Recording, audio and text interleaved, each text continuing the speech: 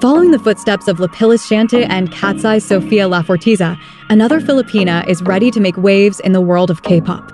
Elisia Parmisano has been confirmed as the first member in the final group of survival show Universe Ticket. Known simply as Elisia, is a talented Filipino actress and trainee under F&F Entertainment. Born on April 18, 2009, she achieved the remarkable feat of ranking first overall during the ninth episode, securing her position as the inaugural member of the group.